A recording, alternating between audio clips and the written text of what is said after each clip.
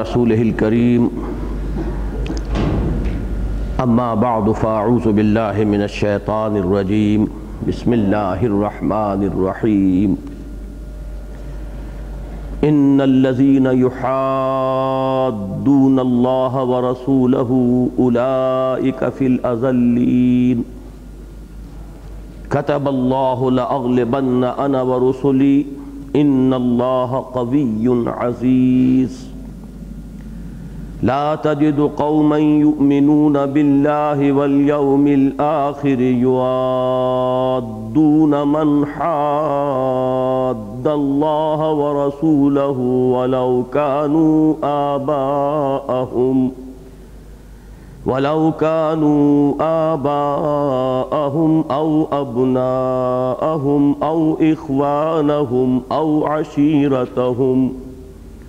अशीरतहुम उलाइक कतब फ़ी क़ुलूबिहिमुल ईमान व अय्यदहुम बिरूहिम मिन्हु व युदखिलुहुम जन्नातिन तजरी मिन तहतिहल अन्हारु खालिदीन फ़ीहा रज़ियल्लाहु अन्हुम व रज़ू अन्हु उलाइक हिज़्बुल्लाह अला इन्ना हिज़्बल्लाहि हुमुल मुफ्लिहून सदक़ल्लाहुल अज़ीम रब शरह ली सदरी व यस्सिर ली अमरी वहलुल उक़दतम मिन लिसानी यफ़क़हू क़ौली अल्लाहुम्मा रब्बना अलहिमना रुशदना व इज़्ना मिन शुरूर अनफुसिना अरिनल हक़्क़ हक़्क़न वरज़ुक़ना इत्तिबाअह व अरिनल बातिल बातिलन वरज़ुक़ना इज्तिनाबह अल्लाहुम्मा वफ़्फ़िक़ना लिमा तुहिब्बु व तर्दा आमीन या रब्बल इस फैसले के बाद कि हमारा ये दर्स एक घंटे से तजावुज़ नहीं करेगा। आज इस दर्स की ये दूसरी नशस्त है।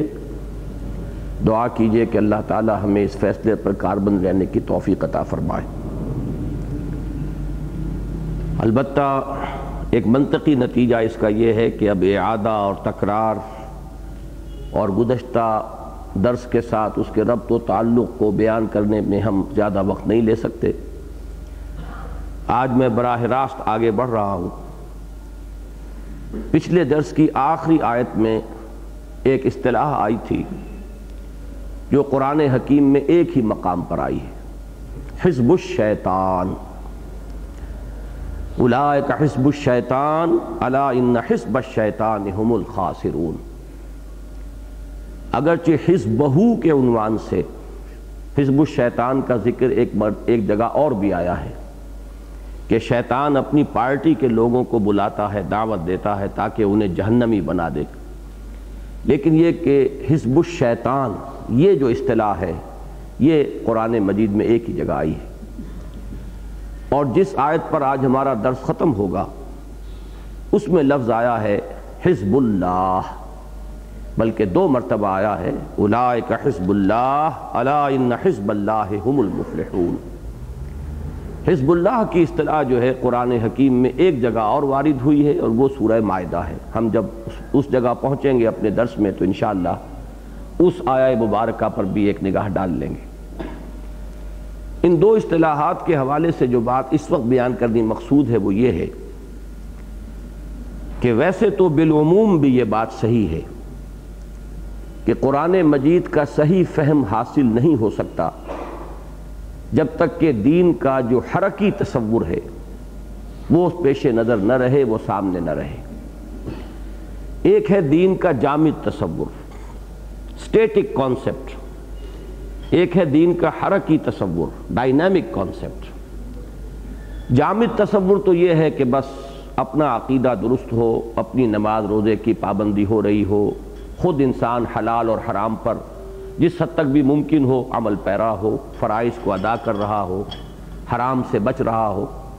बस अगर यहाँ तक मामला है, बाकी अपनी तोानाइयाँ अपनी क़वतें अपनी सलाहियतें सर्फ कर रहा हो, दुनिया कमाने में, दुनिया बनाने में। इसलिए कि ज़ाहिर बात है कि हराम नहीं है, दुनिया कमाना या दुनिया बनाना अगर हलाल ज़राए से हो रहा हो। लेकिन इस जगह भी जो शख्स पहुँचा हुआ है, उसको मैं ताबीर कर रहा हूँ इस वक्त यह भी एक जामी तस्वुर है दीन का। इसके बिलमुकाबिल दीन का हरकी तस्वुर क्या है? कि अपने अमाल ज़ाती फ़राइज़ की अदायगी के बाद और हराम से मुजतनब रहकर, अब जो इंसान की तोानाइयाँ और क़वतें हैं और सलाहियतें हैं, उनका असल मसरफ हो एलाए कलमत दीन का गलबा। एकामत दीन की जिद्दोजहद। अल्लाह के दीन को सरबलंद करने में तन मन धन लगा देना। और अपनी ज़ात के लिए और इस दुनियावी ज़रूरियात के लिए इंसान सिर्फ़ कदर कलील, यानी उतना कम से कम, उतना मिनिमम के जिससे जिसम और जान का ताल्लुक बरकरार रहे, जो बेयर नेसेसिटीज़ हैं ज़िंदगी की, वो पूरी हो जाए। ये है हरक की तस्वुर। जब तक कि ये दूसरा तस्वुर सामने ना हो, कुरान मजीद का सही फहम इंसान को हासिल हो ही नहीं सकता। एक बात बिलूम भी समझ लीजिए, और ख़ास तौर पर बाज़ आयात कुरान मजीद की ऐसी हैं, जैसी मसलन आज हम पढ़ेंगे, कि इसके बारे में तो ये बात कतरीत के साथ है कि जब तक पस मंज़र में वो कशमकश ना हो, बातिल के साथ कशमकश। कशमकश हक बातिल। वो जो इकबाल ने कहा है कि सतीज़ा कार रहा है अजल से ता इमरोस चिराग मुस्तफ़ी से शरार बुलाहबी ये कशमकश तो जारी है। एक तरफ़ शैतान है, उसके एजेंट हैं। एक तरफ़ अल्लाह है और उस पर ईमान लाने वाले हैं। उसके अम्बिया और रसुल होते थे। अब ज़ाहिर बात है कि नबूत और रसालत का दरवाज़ा बंद होने के बाद अब उसके मानने वाले, उस पर ईमान रखने वाले हैं। इनके माबेन कशमकश लाजमी है। इनके माबेन बकाए बाहमी मुमकिन ही नहीं है। ये तो लाजिमन एक तसादुम है कि जो जारी रहेगा। और इसी तसादम में असल में अहल ईमान के खलूस का इम्तहान है। इकबाल ने एक जगह बहुत खूबसूरत नक्शा खींचा है कि दुनिया को है फिर मार कए रूह बदन पेश। तहजीब ने फिर अपने दरिंदों को उभारा। अल्लाह को पामर्दी मोमिन पे भरोसा, इबलीस को यूरोप की मशीनों का सहारा। अब इबलीस की भी क़वतें हैं, उसकी भी पार्टी है, उसके गुमाश्ते हैं, उसके एजेंट हैं इंसानों में से भी, जिन्नों में से भी। अल्लाजी युवस सदूर नास मिनल जिन्नत वन्नास ये इंसानों में से हो उसके एजेंट, या उसके अपनी ज़रूरीत में से हों, जिन्नात में से हों, ये सब मिलजुल कर बनते हैं हिजबुल शैतान। इसके मुकाबले में हिजबुल्लाह है, और ये ताक़याम क़यामत ये बात रहेगी। जिस वक्त की हम ये आयात पढ़ रहे हैं, उस वक्त वो हिजबुल्लाह क्या थी? वो सूरह फतह की जो आखिरी आयत है, उसके हवाले से, उसकी कॉन्स्टिट्यूशन क्या थी, उस हिजबुल्लाह की तरकीब क्या थी? मोहम्मद रसूलुल्लाह वल्लजीना माहू मोहम्मद अल्लाह के रसूल सल्लल्लाहु अलैहि वसल्लम। वो दाई थे, वही उनके कायद थे, वही मैदान जंग में सिपह सालार थे। तो एक तरफ़ अल्लाह के रसूल और दूसरे उनके साथी। वो लोग के जो उनके साथ हैं। जो ईमान लाए, उनके दस्तो बाजू बने, उनके आवान अंसार बने। ये हिजबुल्लाह थी उस वक्त। और बिलमुकाबिल हिजबुल शैतान में एक तरफ़ तो मुशरकिन अरब थे, फिर ये कि ऐन मदीने के अंदर यहूद के कबाइल थे। ये तो वो है कि जो खुल्लम खुल्ला दुश्मन थे। ये तो खुल्लम खुल्ला मुहादा करने वाले थे अल्लाह और उसके रसूल के खिलाफ। महाज आराई। बिल्कुल बज़ाहिर, खुल्लम खुल्ला। और एक और फिफ्थ कॉलमिस्ट अंसर मौजूद था, मुनाफिकीन की शक्ल में। वो था तो मुसलमान, कानूनी एतबार से मुसलमान, लेकिन उनकी दोस्तियाँ थीं, उनकी मोहब्बतें थीं, उनके मरासिम थे, उनके ताल्लुक थे। और ये बिलूम थे, यहूद के साथ, इसलिए कि मदीने में तो यहूद ही थे, बाकी तो जो दोनों कबीले थे, जो असल पुराने अरब कबीले थे, औस और खजरज, वो दोनों ईमान ले आए थे। अब उनमें तो या मोमिन थे, मोमिन सादिक, और या मुनाफिक थे। या बैन बैन कुछ जुआफा में से ईमान लोग, लेकिन बहरहाल अब उनमें काफिर कोई नहीं था। काफिर जो थे, वहाँ वो वही थे, अहले किताब, यहूद। उनके दरमियान जो दोस्ती थी, मुनाफिकीन और यहूद के माबेन, वो है कि जो इस पस मंज़र में है, और वो कशमकश जो है, जो हिजबुल शैतान और हिजबुल्लाह के माबेन जो कशमकश हो रही थी उसको पस मंज़र में रखिए तो ये आयात सही तौर पर समझ में आएगी। फरमाया इन लजीन युहादून अल्लाह व रसूल अजल्लीन। यकीनन वो लोग जो मुहादा कर रहे हैं, ये मुहादा है। बाब मुफाला में मुहादा लेकिन दो दाल जमा हो गई, तशदीद आ गई। मुहादा इन लजीन युहादून बेशक बेशक वो लोग के जो मुहादा कर रहे हैं या खुल्लम खुल्ला महाज आराई कर रहे हैं अल्लाह और उसके रसूल के खिलाफ उलाए कफिल अजल्लीन। वही है कि जो मगलूब होने वाले हैं, जलील और रसवा होने वाले हैं, उन्हीं की किस्मत में शिकस्त लिखी हुई है, चाहे फिल वक्त नज़र ना आ रही हो। ये अजल जो है, जलील से अफल तफसील का सीगा है, अजलल, अजल। और अजल का लफ्ज आगे चलकर आएगा सूरह मुनाफिकून में भी। ये लफ्ज इस्तेमाल करते थे मुनाफिक अहले ईमान के लिए। चुनाचे अब्दुल्ला इबन उबई ने यह अल्फाज गजवा बनिल मुस्तलक से वापसी पर कहे थे।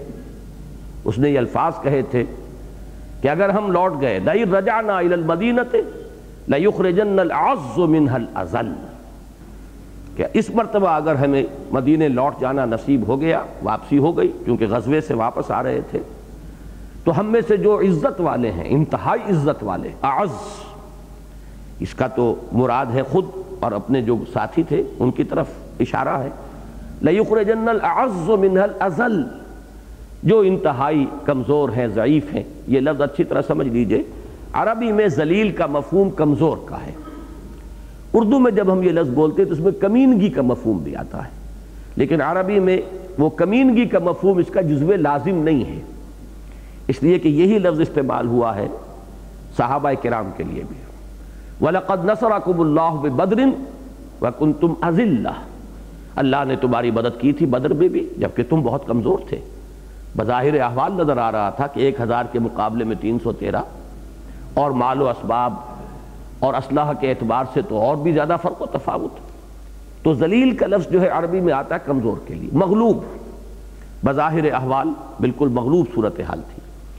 तो यहाँ पर जो लफ्ज़ आ रहा है, अजल, ये वही लफ्ज़ है जो उन्होंने इस्तेमाल किया सहाबा कराम के बारे में या नरूज खुद नबी अक्रम वसल्लम के बारे में। तो गोया के जवाबन ये फरमाया जा रहा है कि उलाए कफिल अजल्लीन। अगरचे इस वक्त इनके पास दौलत है, वजाहत है। दुनिया में चौधराहट है इनके पास। ये अब्दुल्ला इबन उबई जो है, ये खजरज का सरदार है। बज़ाहिर अहवाल तो शक्ल ये है कि साहिब इज़्ज़त है, साहिब वजाहत है। लेकिन हकीकत के अतबार से, अभी जो वाकयात पर्दा गैब में है, जब वो ज़ाहिर होंगे तो मालूम हो जाएगा कि हकीकत में शिकस्त उन्हीं का मुकद्दर है। वही जलील होकर रहेंगे, वही कमज़ोर होंगे, वही मगलूब होंगे। ये लफ्ज़ जो आया था, युहादूना, इस सूरह मुबारक की आयत नंबर पाँच में भी आया था। इन लजीन युहादून रसूल कुब तू कमा कुब तल्लजीन उस वक्त भी मैंने अर्ज़ किया था कि वहाँ जो लफ्ज़ आया था कोबे तू ये फेले माजी है। हलाक हो चुके, बर्बाद हो चुके, तबाह हो चुके, हालाँकि बिलफेल आलम वाक़ में अभी नहीं हुए थे। लेकिन जो बात यकीनी है कुरान मजीद में, वो बात जो है, वो भी जैसे कि अहवाल आखरत, उनका ज़िक्र भी सीगा माजी में होता है। अरबी ज़बान में फ़ेल माजी का एक खासा ये भी है कि वो किसी शय की कतरीत पर दलालत करता है। इसलिए कि जो शय वाक़ हो चुकी, अब उसके बारे में तो शक नहीं। जो अभी गैब के पर्दे में है मुस्तबिल के अभी पर्दों में है, उसके बारे में तो शक हो सकता है कि हो या ना हो, किस सूरत में हो, जो हो चुकी, वो कतई है। उसके बारे में शक नहीं। इसको रिवर्स कीजिए तो जिस चीज़ में शक नहीं गोया कि वो फेले माजी के अंदर, उसका उसका बयान हो जाएगा।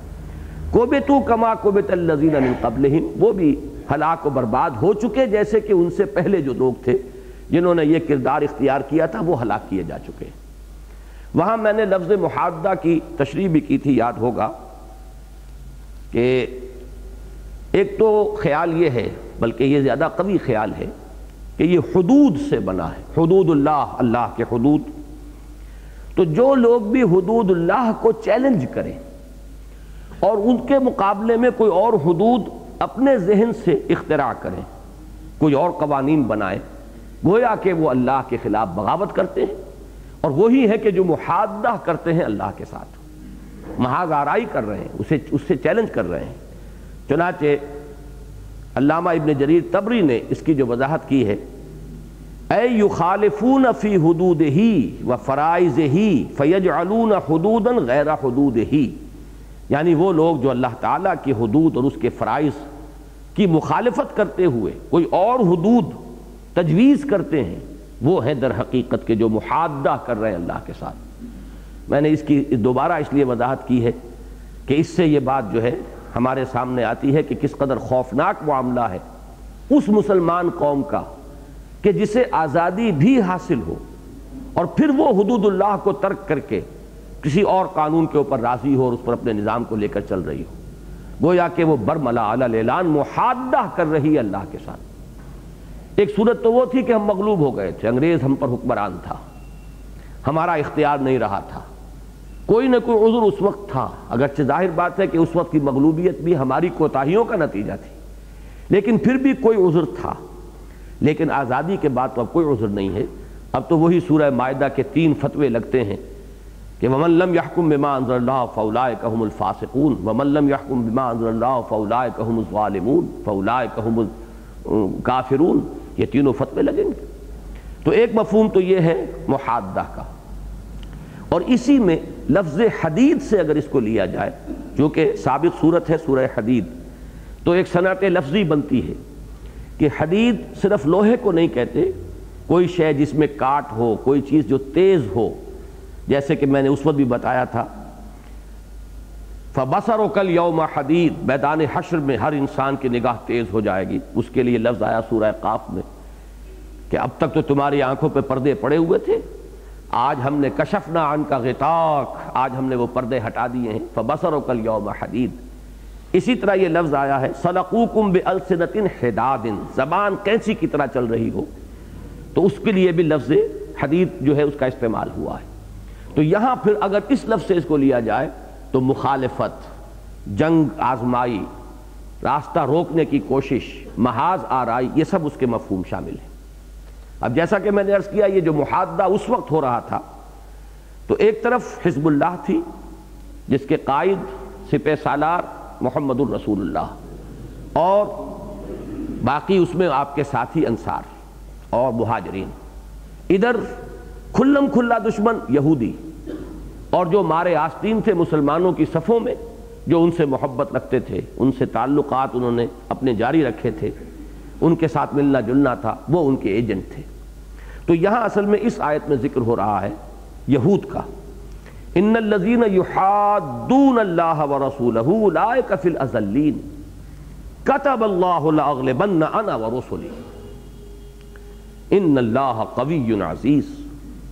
अल्लाह ने लिख दिया है कतब अल्लाह लफ्जी तर्जुमा होगा लिख दिया है मानी इसके क्या है तय कर दिया है कोई शय जब तय हो जाए फिर उसे लिखा जाता है अभी अगर निगोसिएशन हो रही है मेरे और आपके माबेन तो अभी हम तहरीर की तरफ़ नहीं आएँगे। जब बात तय हो गई, अब उसकी तहरीर हो गई। तो तहरीर दर हकीकत किसी शय के आखिरी फैसले और कतई और हतमी होने के लिए एक इस्तारा है। कतब अल्लाह अल्लाह ने लिख दिया, तय कर दिया, फैसला कर दिया। अगले बन आना व रसुली, कि लाजमन गालिब आऊँगा मैं और मेरे रसूल। ये है असल में बहुत अहम आयत। इसलिए कि इसमें फ़लसफ़ा रिसालत से मुतक़ एक बहुत बुनियादी बात है कि जो सामने आती है। लेकिन उसके लिए बहुत ही तेज़ी के साथ और जल्दी में मुझे चंद बातें आपके सामने रखनी होंगी। नबी और रसूल, ये उन जोड़ों में से एक जोड़ा है, कुरान मजीद में और हमारे दीन के बुनियादी असलाहत में मुतद जोड़े हैं कि जो दो दो अल्फाज बहुत करीबुल मफहूम हैं। और अक्सर व बेशतर मुतरदिफ की हैसियत से इस्तेमाल होते हैं। लेकिन ज़ाहिर बात है कि जब दो असलाहत हैं, अलहदा अलहदा तो उनका मफहूम अलहदा भी है। मुतरदफात के तौर पर भी आएँगे। मसलन, एक है जिहाद और कताल, एक है ईमान और इस्लाम, एक है नबी और रसूल। अब इनमें एक नस्बत, वो तो है आम और ख़ास की, जिस पर सबका इजमा है, सब मानते हैं। मोमिन खास है, मुस्लिम आम है। किताल खास है, जिहाद आम है। रसूल खास है, नबी आम है। इसका क्या मतलब है? तीनों के हिसाब से नोट कर लीजिए। किताल तो लाजिमन जिहाद है, लेकिन हर जिहाद किताल नहीं होता। जिहाद एक बहुत ही ब्रॉड बेस्ड फिनोमिन है। उसकी एक आखिरी शक्ल किताल है। तो किताल तो लाजिमन जिहाद है, लेकिन हर जिहाद किताल नहीं। इसी तरह हर मोमिन तो लाजिमन मुस्लिम है, लेकिन हर मुस्लिम मोमिन नहीं होता। ये एक खास ईमान खास है, इस्लाम आम है। इसी तरह हर रसूल तो लाजिमन नबी है, हर नबी रसूल नहीं है। और इसी का हमें बाज़ रिवायात से भी मालूम होता है कि रसूलों की तादाद तो 313 बताई गई है, जबकि अंबिया की तादाद सवा लाख के करीब है। वही ख़ास और आम की नस्बत है। बाकी अब इख्तलाफ है कि असल इनमें फ़र्क क्या है इनके मफहूम में। आम और ख़ास की नस्बत पे तो इतफाक़ है। लेकिन यह कि उनको एक दूसरे से मुमैज़ करने वाली चीज़ क्या है? बाद हजरात ने यह कहा है कि रसूल वो है कि जो नई शरीयत लेकर आए। या रसूल वो है जो किताब जिसको मिली हो। हालाँकि बिल्कुल इसके बरक्स मिसालें मौजूद हैं। हज़रत दाऊद सलाम को किताब दी गई, लेकिन वो रसूल नहीं है, नबी है सिर्फ़। इसी तरीके से हज़रत इस्माइल को रसूल कहा गया है। और हज़रत हज़रत मूसा सलाम के साथ हज़रत हारून रसूल शुमार होते हैं, लेकिन उनको कोई किताब नहीं दी गई। तो ये चीज़ें जो है, ये नहीं है असल। असल शय ये है कि नबूवत तो एक ज़ाती मर्तबा है, एक हैसियत ज़ाती है, और रिसालत एक अपॉइंटमेंट है। एक किसी जगह पर तयनाती जिसको आप कहते हैं। रिसालत हकीकत में किसी मुन कौम या किसी मुन इलाके या शहर की तरफ़ जब किसी नबी को भेज दिया जाए, इजहब इला फ़िरौन, जाओ फ़िरौन के पास। उससे पहले पहले वो नबी थे। हम कलाम हो रहे हैं, वही शुरू हो चुकी है। नबूत तो है। लेकिन ये हुक्म जब मिला है कि अब जाओ फ़िरौन के पास, ये है दर हकीकत यहाँ से रिसालत का आगाज़ हो जाएगा। इसकी सादा तरीन मिसाल मैं दिया करता हूँ कि हमारे यहाँ अपने माशरे में सी एस पी एक काडर है। एक ख़ास हैसियत मुन हो गई है कि अब इनकी अपॉइंटमेंट हो सकती है। किसी ज़िले के डी सी की हैसियत से, कहीं डिप्टी सेक्रेटरी की हैसियत से, कहीं किसी और, किसी कॉरपोरेशन में उनको भेजा जा सकता है। उनका एक कार्डर है। जहाँ भी वो जाएँगे सीएसपी रहेंगे। लेकिन अपनी अपॉइंटमेंट के एतबार से अहदे के एतबार से वो बदलते चले जाएँगे। कभी वो, कहीं वो कमिश्नर होंगे कब कभी वो डिप्टी कमिश्नर थे, कहीं वो सेक्रेटरी होंगे। तो इस एतबार से रसूल जो है, वो एक मनसब है, एक जगह है जहाँ पे कि मुन कर दिया गया। और उसके लिए प्री क्वालिफिकेशन वो नबूवत है, वो सीएसपी काडर है। तो नबी जो है, वो है दर हकीकत एक हैसियत ज़ाती और रिसालत जो है, वो है एक मनसब के जिस पर उस नबी को फाइज किया जाए। अब ये फ़र्क समझ लीजिए, नबी जब तक नबी है सिर्फ़ और रसूल नहीं है, और बहुत से नबी ऐसे हैं कि जो आखिर वक्त तक रसूल नहीं हुए। जब हम ये कहते हैं कि सवा लाख अंबिया आए, रसूल तीन सौ तेरह आए तो अब गिन लीजिए, वो तो लगभग सवा लाख ही हैं, उनमें से 313 निकाल देंगे तो कौन सी कमी आ गई? वो सब के सब नबी ही रहे ना, रिसालत के मनसब पर वो फाइज नहीं हुए। जब तक ये मामला है, वो मगलूब भी हो सकते हैं, उन्हें कत्ल भी किया जा सकता है। लेकिन जब नबी रिसालत पर फाइज हो जाए, अब वो नुमाइंदा है उस आसमानी हुकूमत का। जैसे कि सफ़ीर का कत्ल जो है, आपको मालूम है, ऐलान जंग शुमार होता है। कोई आम शहरी पाकिस्तान का अगर किसी दूसरे मुल्क में कत्ल कर दिया जाए तो उसकी वो अहमियत नहीं है, चाहे वो शहरी कितना ही हमारे यहाँ मुआज़ हो और साहिब हैसियत हो। लेकिन सफ़ीर का कत्ल कर दिया कर दिया जाना। ये गोया के ऐलान जंग है। चुनाचे सल्तनत रोमा से जो मुसल्ला टकराव शुरू हुआ है, हजूर सल्ला वसम की हयात तय्यबा में, वो एक सफ़ीर ही को शहीद कर देने की बिना पर कि हजूर सल्ला वसम के जो एलची गए थे, उन्हें शहीद कर दिया गया। तो अब रसूल जो है वो गोया के उस आसमानी बादशाहत का नुमाइंदा और उसका सफ़ीर है। इस और लफ्ज़ रसूल इस मानी में इस्तेमाल होता है आज भी। आपको मालूम होगा कि जब पंडित नेहरू गए थे सऊदी अरब के दौरे पर, सरकारी दौरे पर, ये मेरी ज़िंदगी के उन वाक़ात में से है जो गाह बगाह याद आते रहते हैं तो वहाँ उनका बहुत पुरजोश खैर मकदम हुआ था। और बैनर्स बने थे, मरहबम बे रसूल सलाम। लफ्ज़ रसूल इस्तेमाल किया, बहुत गुस्सा आया था उस वक्त हमें। लेकिन फिर सोचा कि भाई, इनकी तो ज़बान अरबी है ना, ये तो उस जबान में इसके मानी एलची, रसूल के मानी एलची। तो वो चूँकि उस वक्त वो पंचशीला और हिंदी, चीनी, भाई भाई, ये बहुत फलसफा जो है उस वक्त, वो बहुत उरूज पर था। और एक तरह से गोया के मैसेंजर ऑफ़ पीस बने हुए थे पंडित जी। लिहाजा उनका इस्तेबाल हुआ, मरहबम बे रसूल सलाम welcome to the messenger of peace तो रसूल के मानी मैसेंजर के हैं, जिसे भेजा गया है। तो रसूल के बारे में यह तय है कि रसूल लाजमन गालिब आकर रहते रहते थे कहिए असल में। अब तो वो मामला जो है माजी की बात है। इसीलिए मैं एहतियात करने लगा हूँ अब कि ये है वाला मामला अगरचे हमारी आम जबान में, मुहावरे में तो ज़्यादा सही वो है, लेकिन मुगालते का एक इम्कान रहता है। ये दरवाज़ा बंद हो चुका, माजी की बात है। कि रसूलों के बारे में ये तय रहा है, फैसला रहा है। कतब अल्लाबन्ना अना व रसूली, अल्लाह ने तय कर दिया है, लिख दिया, मैं और मेरे रसूल गालिब आकर रहेंगे। ये कानून इतना अटल है कि रसूल और उसके साथियों को अल्लाह ने हमेशा बचाया और पूरी पूरी कौमों को तहस नहस कर दिया। इसी कानून के तहत ये कौम नूह और कौम हूद और कौम साले और कौम लूत और आल फ़िरौन और कौम शुएब ये सब हलाक की गई। इसलिए कि रसूल के साथ अल्लाह ताला की नुसरत आएगी। या तो कौम उन्हें तस्लीम करे, उन पर ईमान लाए। तब तो आफियत है और खैरियत है। अगर रसूल की बात को रद्द कर दिया जाएगा और उनकी दावत कबूल नहीं की जाएगी तो फिर हमेशा से ये रहा है कि उन कौमों को फिर हलाक कर दिया गया। चुनाचे हज़रत नू सलाम की तो फरियाद भी इन अल्फाज में हमें मिलती है कुरान मजीद में। इन्नी मगलूबन फंतसिर अल्लाह मैं मगलूब हुआ चाहता हूँ। मुझ पर तो गलबा इन्होंने पा लिया है। फंतसिर, बस इंतकाम ले और बदला ले। और बदला लिया अल्लाह ने। और कैसा बदला लिया?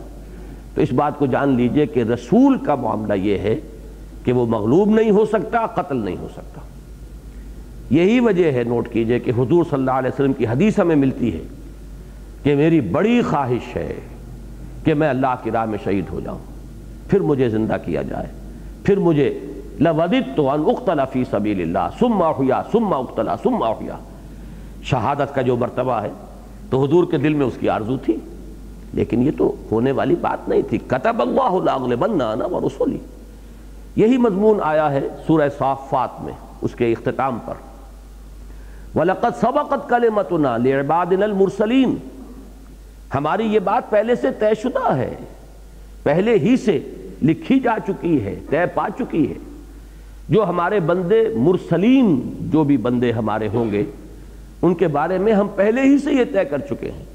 वलकत सबकत कलमतना इन नहुम लहुमुल मंसूरून, व इन न जुंदना लहुमुल गालिबून, कि उनकी लाजमन मदद होकर रहेगी, और हमारी फौज और हमारा लश्कर जो है, यानी रसूल और उसके साथी, अल्लाह की फौज और अल्लाह के हिज्ब, अल्लाह का जुंद उस वक्त क्या था? मोहम्मद रसूलुल्लाजीन माऊ इन जुंदना लहुमुल गालिबून। हमारा लश्कर, हमारी फौज लाजमन गालिबा कर रहेगी जबकि नबी कत्ल भी हो सकते हैं। ये साइमल्टेनियस कंट्रास्ट के तौर पर, यानी फौरी तकाबुल जो आता है, ये ख़ास तौर पर हज़रत ईसा और हज़रत याहिया के बाब में आता है। हम असर हैं। हज़रत याहिया शहीद कर दिए गए।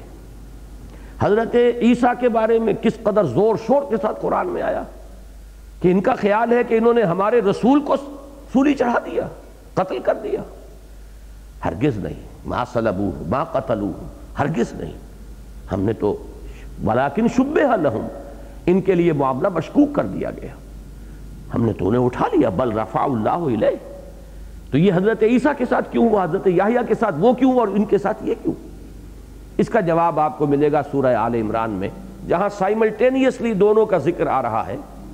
तो दोनों की तारीफ़ और दोनों की तोसीफ जो जिन अल्फाज में की गई है, हज़रत याहिया का जब मामला आता है, रस नबी यम मिनसालहीन यहाँ बात आकर ख़त्म हो जाती है। बाकी और भी उनकी तारीफ़ के लिए, तोसीफ के लिए अल्फाज आए हैं। और हज़रत ईसा सलाम, रसूलन इला बनी इसराइल। वो सिर्फ़ नबी थे, रसूल नहीं थे। हज़रत ईसा रसूल थे। नबी शहीद कर दिए गए उससे कोई जलजला नहीं आया कायनात में। लेकिन रसूल शहीद नहीं किए जा सकते थे, सूली नहीं दिए जा सकते थे। चाहे अल्लाह ताला ने खालिस खर्क आदत अपना पूरा तभी कानून तोड़कर हज़रत ईसा सलाम को आसमान पर उठाया, लेकिन कत्ल नहीं हुए। अलबत्ता जैसा कि मैंने अर्ज़ किया है, बास जगहों पर मैं शुरू में कह चुका हूँ कि ये अल्फाज इस्लाम और ईमान, जिहाद और कताल, नबी और रसूल ये मुतरदफात के तौर पर भी आ जाते हैं।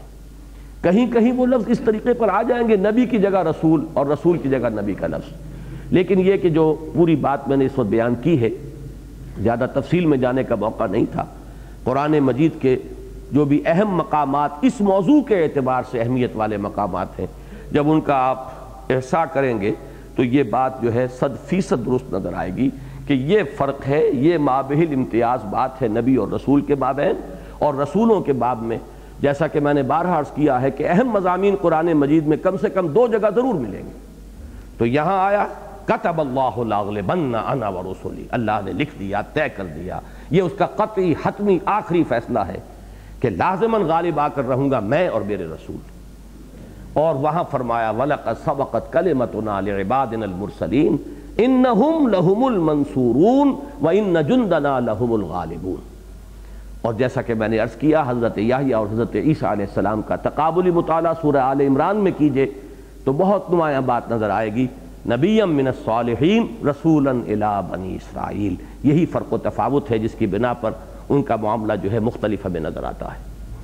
तो फरमाया, कतब अल्लाबन अना व रसुली इन अल्लाह कवी अज़ीज़। यकीन अल्लाह ताला कवी है और ज़बरदस्त है।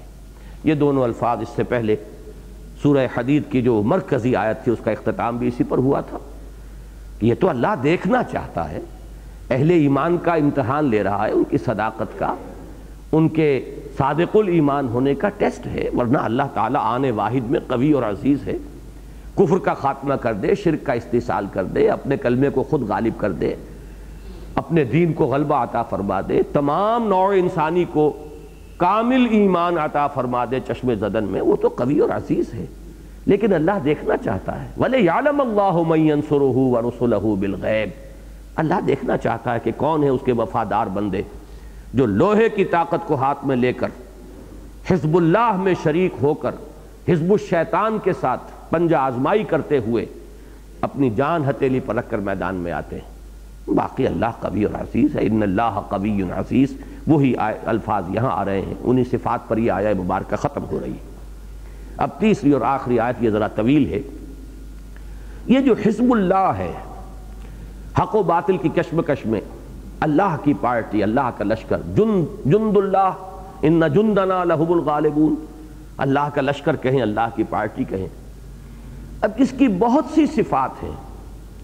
उनमें से एक सिफत को यहाँ बहुत नुमाया करके बयान किया जा रहा है। उनमें एक सिफत यह होगी, जैसे कि सूर्य फतह के आखिर में हम पढ़ चुके हैं, तराहम रुकान सुजदन जब तगून फजल मिन व रिजवाना, सीमाहम फ़ी वजूह मिन असर सजूद। फिर उनके अंदर एक सिफत यह होगी कि बाहम इंतहाई मोहब्बत ईसार, जैसे कि आप सूर्य हशर में कि जो अगली सूरत है उसमें देखेंगे यू सिरून आला अनफुसम वलव कान बहिम खसासा। वो अपने दूसरे मोमिन जो भाई हैं, उनकी ज़रूरतों को अपनी ज़रूरतों पर मुकदम रखते हैं, चाहे खुद तंगी में हो। जब तक ये बाहमी इशार ना हो, कोई पार्टी वजूद में नहीं आती। फिर तो एक अम्बो है, एक ग्रोह है, एक हजूम है। पार्टी तो वही होगी जो मज़बूत, मरबूत हो, जिसके जो शुरका हैं, उनमें बाहमी मोहब्बत हो। इसी तरीके से उनमें इशार और कुर्बानी का मादा हो। वो तन बंधन लगाने के लिए तैयार हो, उस मकसद के लिए, जिस मकसद के लिए वो पार्टी कायम हुई है। तो ये मुख्तलिफ़ औसाफ हैं। लेकिन एक बस जो इस वक्त जगह नुमाया किया जा रहा है वो ये है कि उनकी कोई दिली मोहब्बत, कोई उनका कल्बी मोहब्बत का रिश्ता जो है, उन लोगों से हरगिज नहीं हो सकता जो अल्लाह और उसके रसूल के दुश्मन हो, अल्लाह और उसके रसूल के खिलाफ महाजाराई कर रहे हो। अगर वो रिश्ता बरकरार है तो इसके मानी ये है कि अब उनका खलूस अल्लाह के साथ और उसके रसूल के साथ और अल्लाह के दीन के साथ वो मशकूक हो जाएगा। गोया के मुजब्जब है। किसी न किसी दर्जे में फ़ी कलूब ही मरजुन वाली बात मौजूद है। यही फ़ी कलूब ही मरजुन है जो आगे बढ़कर निफाक की शक्ल इख्तियार करता है। लिहाजा यहाँ जो है उनके उस वस को नुमाया किया जा रहा है कि उनकी मोहब्बत के मैार और पैमाने बिल्कुल बदल गए अब खूनी रिश्ते उनकी मोहब्बत की असास नहीं है। यह दुनियावी मफादात उनकी मोहब्बत की बुनियाद नहीं है। दुनिया में बसा अवकात इंसान। ताल्लुकात को बरकरार रखता है, परवान चढ़ाता है। कुछ ना कुछ मफादात दुनियावी जो है उनके एतबार से। और यह कि एक खूनी रिश्ता यह है कि जिसकी बिना पर मोहब्बत करते हैं। ईमान की वो शान जो बयान की गई कि कामिल ईमान उसी शख्स का है। मन अहब्बा लिल्ला व अब गजा लिल्ला व आता लिल्ला व मना लिल्ला फ़कत इस्तकबल ईमान जिसने मोहब्बत की तो सिर्फ़ अल्लाह के लिए की। दुश्मनी रखी तो सिर्फ़ अल्लाह के लिए रखी। अपने नफ्स की दुश्मनी नहीं, बल्कि यह कि अल्लाह की वजह से दुश्मनी। किसी को कुछ दिया तो इसलिए दिया कि उसको देना अल्लाह को पसंद है। किसी से कुछ रोका तो इसलिए रोका कि उसका रोकना अल्लाह को पसंद है। मन अहब्बा है वह अब गज़ा है वह आता अल्लाह है वह मना है फ़कत इस्तकबल ईमान तो ईमान अब उस शख्स का कामिल है, जिसकी ये मोहब्बत और नफरत और दोस्ती और दुश्मनी का मैार अल्लाह बन गया हो, अल्लाह का दीन बन गया हो। अगर ये बात नहीं है तो अभी क्वालिफाई नहीं करेंगे फिर वो। हिजबुल्लाह में शमूलियत की क्वालिफिकेशन उनकी नहीं है। एक पहलू से वो नाकाम हो रहे हैं। एक वस जो है उनका, अभी वो कम है। ये है असल बात जो अब यहाँ कही जा रही है। इसलिए कि आपने देखा इस सूरह मुबारक में, आयत नंबर पाँच में भी आया था मुहादा हो रहा है इस वक्त। लोगों ने एक गठजोड़ किया हुआ है, महाजाराई की हुई अल्लाह के खिलाफ, अल्लाह के रसूल के खिलाफ, अल्लाह के दीन के खिलाफ। अब ये जो कशमकश है, एक है आम हालात, वो जो मैंने अर्ज़ किया था कि वो जो एक जामिद तस्वुर है, सब पैसिव है, मुसलमान भी बस नाम के मुसलमान। न कोई दावत है, न कोई हरकत है, न कोई तहरीक है, न कोई कशमकश है तो वहाँ ये आयात बिल्कुल आउट ऑफ़ कॉन्टेक्स्ट हो जाएँगी। इन आयात का फिर वहाँ कोई इंतबाक ही नहीं है, इसलिए कशमकश है ही नहीं। कोई ना मुहादा है और ना ही कहीं कोई महाजाराई है, ना कहीं कोई तसादुम है, ना कोई कशमकश है। ये आयात असल में पस मंजर जो है उनका, उसमें रखेंगे तब वो एक एक हरफ रोशन हो जाएगा। एक एक चीज़ अपनी जगह पर बिल्कुल सही और कतई और यकीनी नज़र आएगी और मंतकी नज़र आएगी। मालूम होगा कि वाकता ये तकादा है, मंतिक का अकल का, कि जब ये कशमकश हो रही हो, एक वक्त आता है कि जब कशमकश हो रही हो तो फिर मैं, पैमाना ये हो जाता है कि जो हमारे साथ नहीं है वो हमारा दुश्मन है। यानी जो, ये जिसको आप कहते हैं गैर जानबदारी गैर जानबदारी का फिर तस्वुर नहीं रहता। गैर जानबदारी उसी, वही जो मैंने अर्ज़ किया था कि वो जो पैसिव कॉन्सेप्ट है वो जो स्टेटिक कॉन्सेप्ट है मज़हब का, उसमें गैर जानबदारी चल सकती है। लेकिन जहाँ कशमकश हो, जहाँ पे ये तसादुम जो है, शिद्दत इख्तियार किए हुए वहाँ गैर जानबदारी चेमानी दारद। जो हमारे साथ नहीं है, वो हमारा दुश्मन है। ये दुनिया का उसूल है और वाकता सही है। लेकिन ये कब समझ में आएगा? जब वो हरक तस्वुर सामने हो। तहरीकी अगर सोच है तो ये बात सद फ़ीसद माकूल और मंतकी नज़र आएगी। चुनाचे फरमाया, ला तज दो कौमन। तुम नहीं पाओगे किसी कौम को, लोगों को यू मनून बिल्लामिल आखिर। जो वाक़ता ईमान रखते हो अल्लाह पर और योम आखिर पर। युवादून अब ये लफ्ज़ फिर उसी वज़न पर आ गया है। इसमें जो रिदम है, उसको यहाँ अप्रिशिएट कीजिए। कुरान मजीद एक वज़न और एक साख्त के अल्फाज लाता है। मुआदा ये भी मुआदा बाब मुफाला। वाओ दाल दाल, वद्दा। ये है जिससे मवद्दत भी बना उर्दू में हम इस्तेमाल करते मवद्दत, मोहब्बत, राफत। ये जो है अल्लाह ताला का एक नाम है वदूद, बहुत ही मोहब्बत करने वाला, अल्लाह वदूद है। बहुलगफूरवदूद अर्शिल मजीद। अब इसी से बाब मुफाला बाहम मोहब्बत। युआदून मन हाद व रसूला।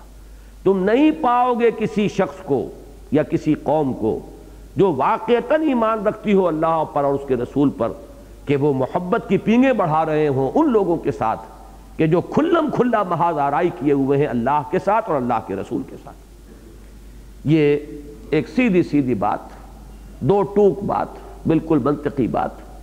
ला तजद कौमन यू मिनून वल आखिर। मन अब ज़रा पढ़िए अल्फाज आगे। वला कानू आबाहुम।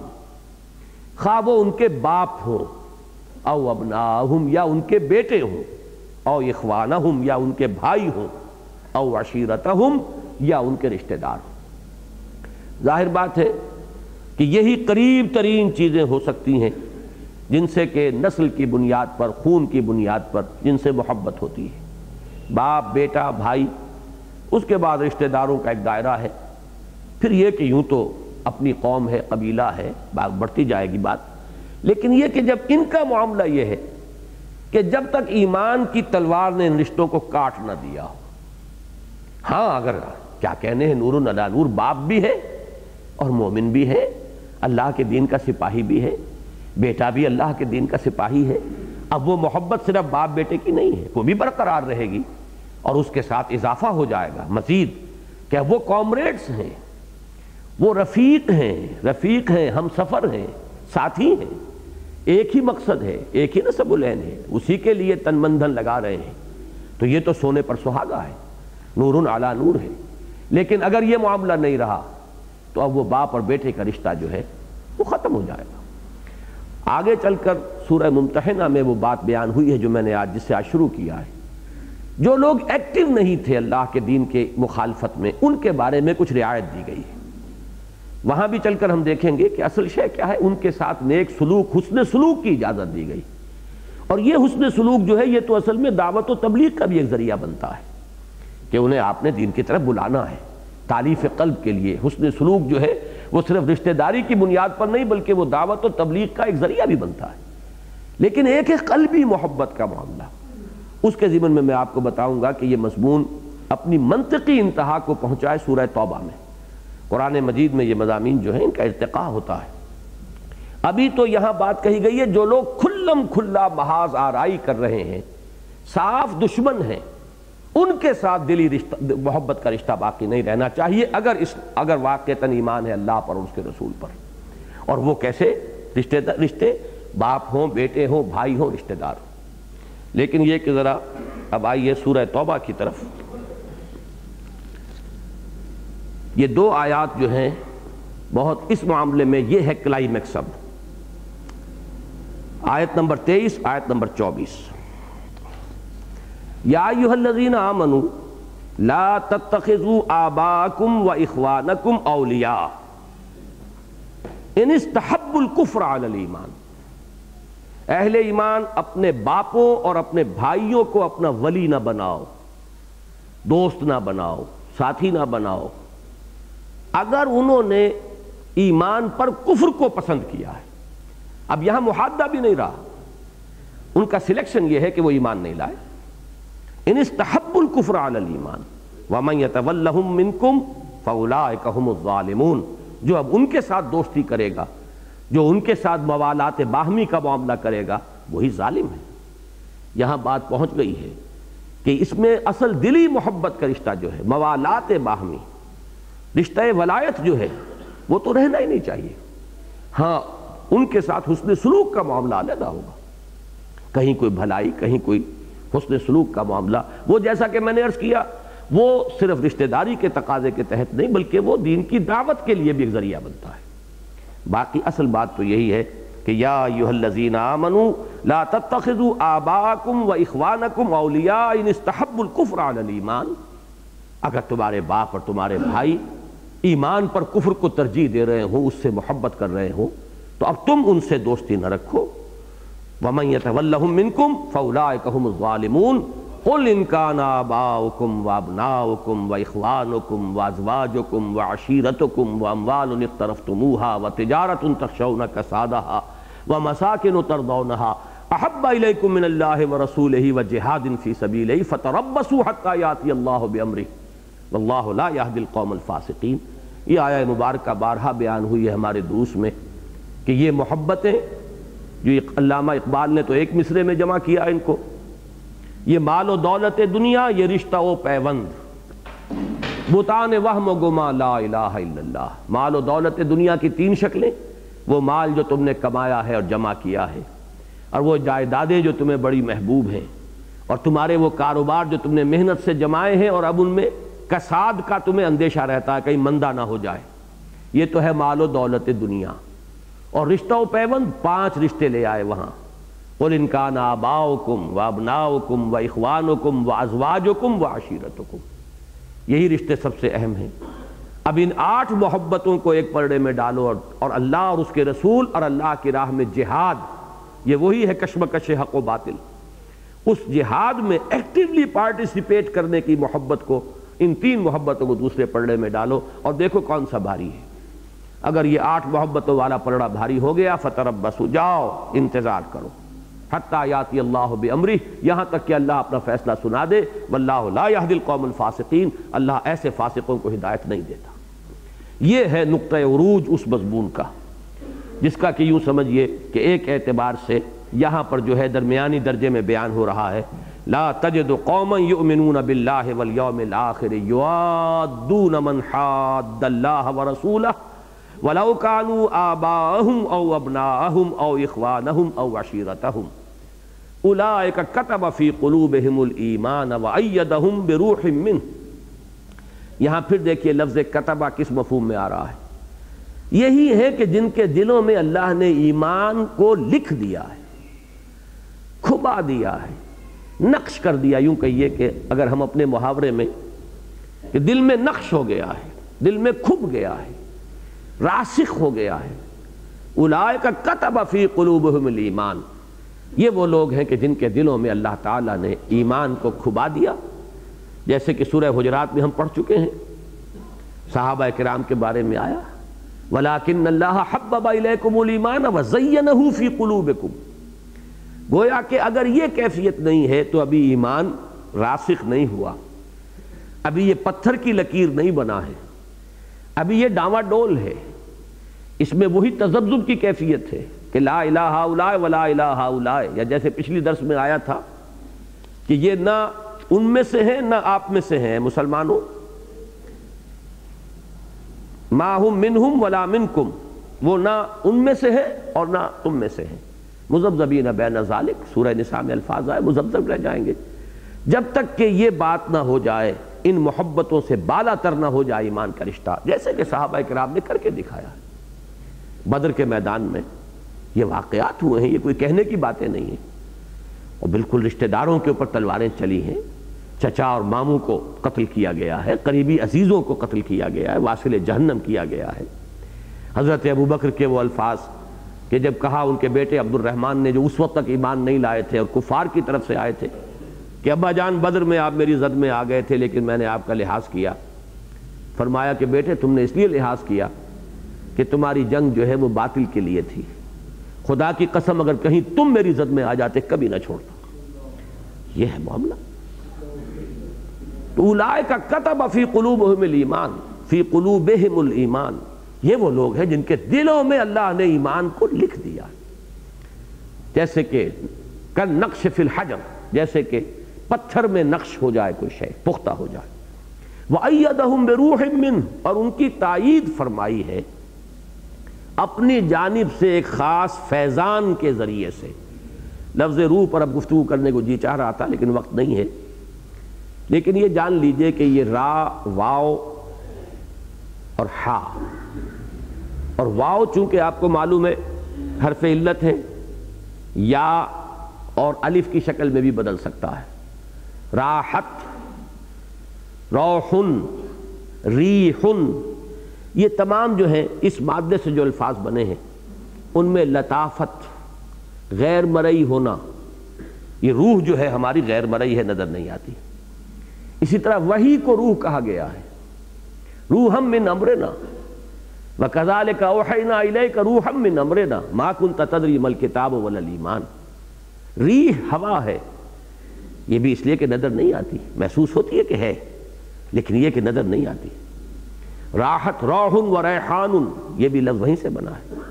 राहत एक एहसास है बातनी लेकिन यह कि वो शय कहीं नज़र में आने वाली नहीं है। तो यहाँ पर भी फैज़ान रब्बानी, ये इसका असल में मफहूम होगा।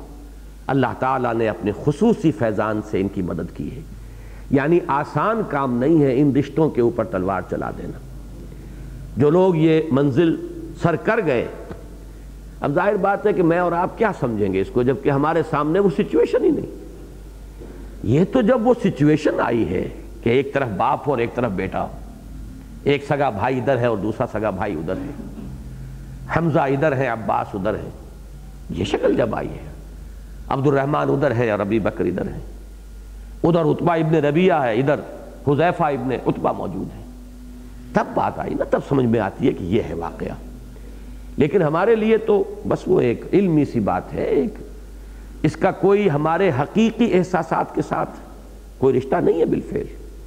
अलबत् कमतर दर्जे में इसके तजर्बात होते हैं। अगर दीनी तहरीक के साथ, हरकत के साथ इंसान वाबस्ता हो तो आता है कदम कदम पर रुकावटें आती हैं। ये मोहब्बतें जो है, पाँव में बेड़ियाँ बनती हैं।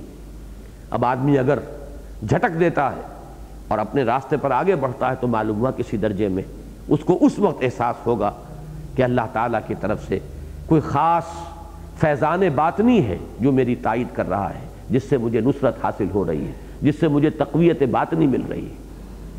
उलाय का कतब फ़ी कलूब हिमुल ईमान वदम बेरूह मिन व युद्ध खिलोहम जन्नात तजरीम इन ताहत हलहार और वो दाखिल करेगा उन्हें उन बागात में जिनके दामन में नदियाँ बहती होंगी, खालिदीन फीहा। और वो उसमें हमेशा हमेश रहेंगे। रज़ी अल्लाह अनहुम व रदू अन। ये बुलंद तरीन दर्जा है कुरान मजीद में, किसी इंसान के फौज और फलाह के लिए जो अल्फाज आए हैं, उनकी ताबीर की जो बुलंद तरीन सूरत है वो ये है। वो अल्लाह उनसे राज़ी हो गया, वो अल्लाह से राज़ी हो गए। ये बाहमी रजा जो है, बाहमी रजामंदी तस्लीम और रजा की कैफियत बंदे की तरफ़ से। और अल्लाह भी ऐलान कर दे कि मैं अपने इस बंदे से राज़ी हूँ। अब यह है आखिरी मंजिल जो इंसान हासिल कर सकता है। रज़ी अल्लाह व रजुआन फिर इस मकाम रजा में यह भी शामिल है कि हर साकी मार एक तैन अल्ताफस्त। मेरे महबूब की तरफ़ से जो शय भी आए, उसका लुत्फ करम है। मेरे प्याले में मेरे साकी ने जो भी उंडेल दिया। करम ही करम है। चाहे बज़ाहिर कोई तलखी का एहसास हो रहा हो, चाहे बज़ाहिर कोई तकलीफ़ और मजरत आ रही है, चाहे बज़ाहिर कोई नाखुशगवार और नागवार सूरत हाल है जो सामने आ गई है, लेकिन नहीं, मेरे रब की तरफ़ से है।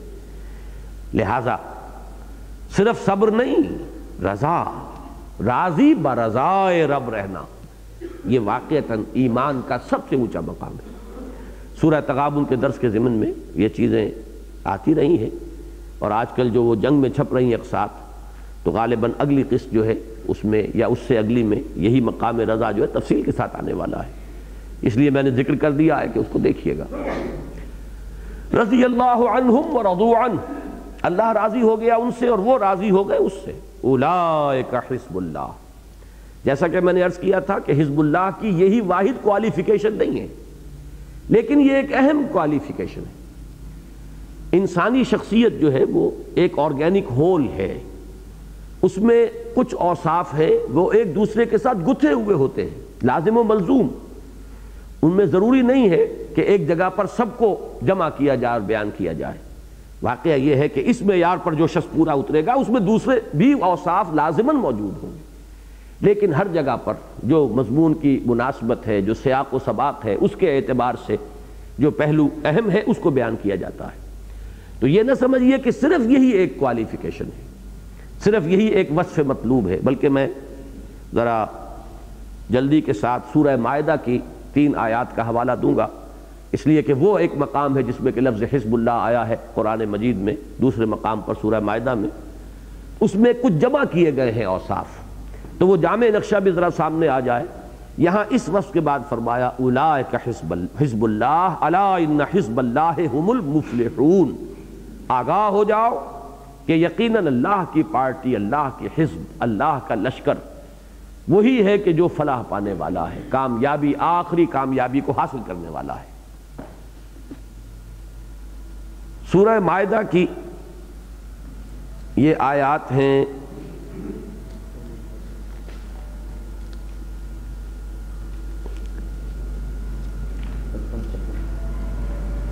चौवन, पचपन, छप्पन। यादीन आमनु मई यरतमिन को मानदी नहीं फसौफ़यातिल्लाह बेकौमिन। अहले ईमान, तुम में से जो शख्स भी अपने दीन से फिर गया, वो कान खोल कर सुन ले कि अल्लाह को उसकी कोई एहतियाज नहीं है।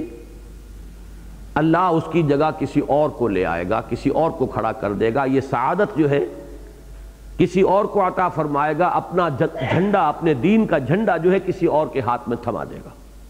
अब उनके औसाफ क्या होंगे?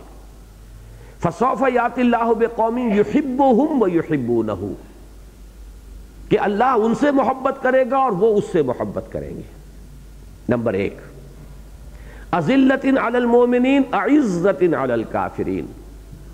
वो अहले ईमान के हक में बड़े नर्म होंगे और कुफार पर बहुत भारी और सख्त होंगे। जैसे कि इकबाल ने कहा कि हो हल्क यारा तो बरेशम की तरह नर्म। और रज़म हक बातिल हो तो फौलाद है मौलू या जैसे कि सूरह फतेह में फरमाया गया, रुहमाओ बैनहुम, आपस में इंतहाई शफीक, रहीम अशिद्दाकुफ़ार मोहम्मद रसूलुल्लाह वल्लजीन माहू अशिद्दाकुफ़ार रुहमाओ बैनहुम।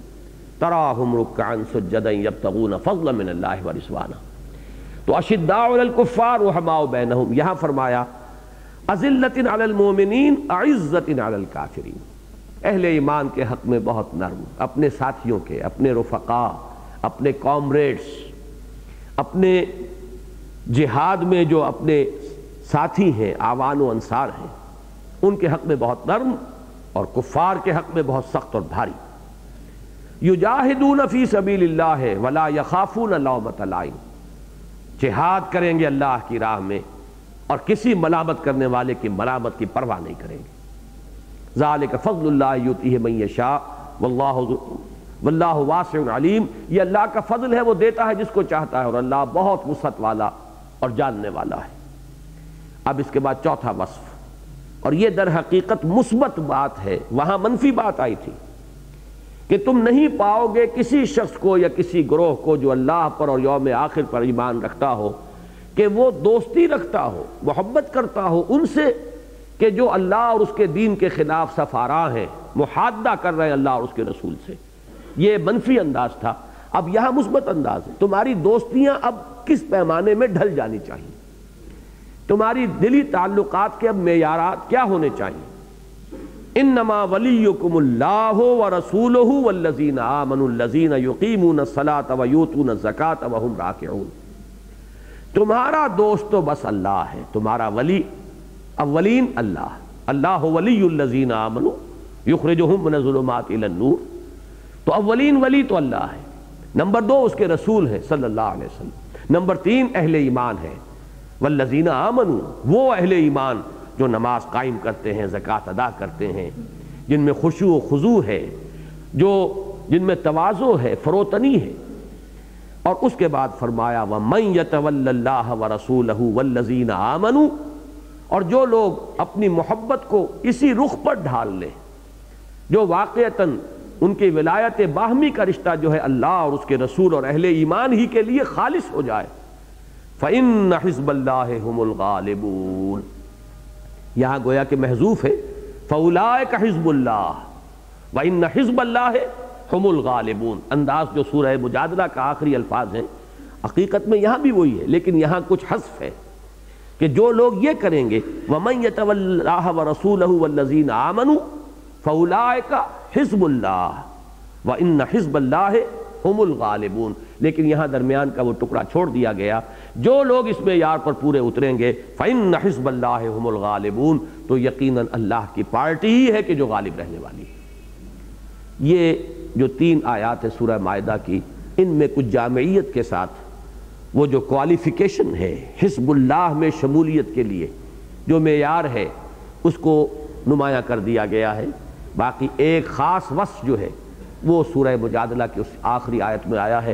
और उस मौजू पर वाक़ता वो बड़ी जाम आयत है अल्लाह ताला मुझे और आपको इसकी तोफ़ी अता फ़रमाए कि हम वाक़ता हिजबुल्लाह में शामिल हों। अब यह कि वह हिजबुल्लाह हमें इस दौर में अपनी बनानी है, अब नबूवत और रसालत का सिलसिला ख़त्म हुआ। अब हमें मिलजुल कर वो हिजबुल्लाह बनना है।